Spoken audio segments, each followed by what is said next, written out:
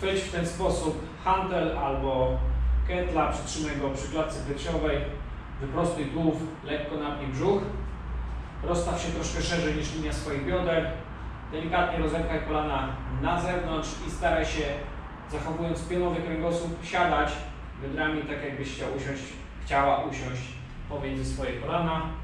Brzuch jest aktywny, staje tak jakbym był na sznurku, który wyciąga mnie pionowo do góry. Troszkę mogę pomyśleć o tym, że wstaję za pomocą klatki piersiowej.